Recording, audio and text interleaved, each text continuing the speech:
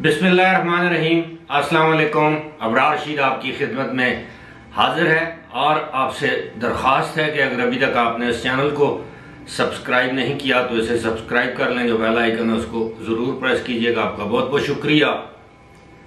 आप अगर इमरान खान के हामी हैं या उनके मुखालिफ, अगर आप उनके लवर हैं या हेटर मेरी आपसे दरख्वास्त है कि इंतहाई मुख्तसर वीडियो होगी, इसे आखिर तक ज़रूर देखिएगा।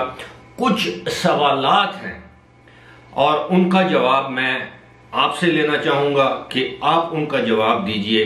बड़े आसान किस्म के, आम फहम किस्म के सवालात हैं। सबसे पहला सवाल तो यह है कि इमरान खान बतौर वज़ीर आज़म चाहते हुए भी अपनी मर्ज़ी का डीजी, आईएसआई तैनात नहीं करवा सके। इमरान खान अपने दौरे इकतदार में चाहते या ना चाहते हुए भी army chief General Qamar Javed Bajwa को खुद एक्सटेंशन नहीं दिलवा सके, बल्कि पार्लियामेंट के ज़रिए एक्सटेंशन दिलवाई गई।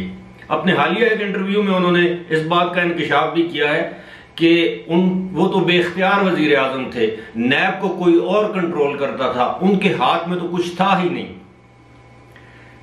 अब ये मैं इस बात को मुख्तसर करता हूँ। इमरान खान चाहते हुए भी जनरल फैज हमीद को अपने अहदे पर ज़्यादा अरसे के लिए बरकरार नहीं रख सके।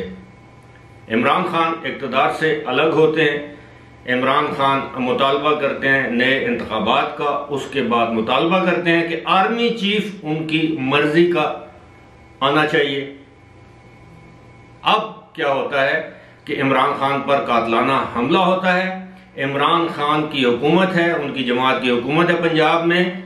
वो अपनी एफआईआर नहीं कटवा सकते।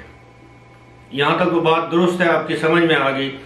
सुप्रीम कोर्ट की हिदायत पर, हुक्म पर जब एफआईआर दर्ज की जाती है तो उसमें वो तीन नाम नहीं होते, जो तीन नाम इमरान खान ले रहे हैं, या जिन पर शक का इजहार कर रहे हैं, यानी वज़ीर आज़म, वज़ीर दाखिला और आईएसआई के एक मेजर जनरल। ये तीनों नाम एफआईआर में मौजूद नहीं है। और अब इमरान खान ये समझते हैं कि वो जल्द इंतबात लेने पर उसकी तारीख लेने पर भी कामयाब हो जाएँगे। अपनी मर्ज़ी का आर्मी चीफ भी लगवा लेंगे।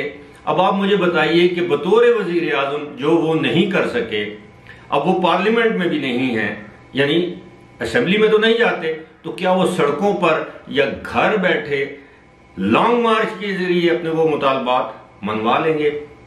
इसका जवाब आप अपने जमीर के मुताबिक ज़रूर दीजिएगा।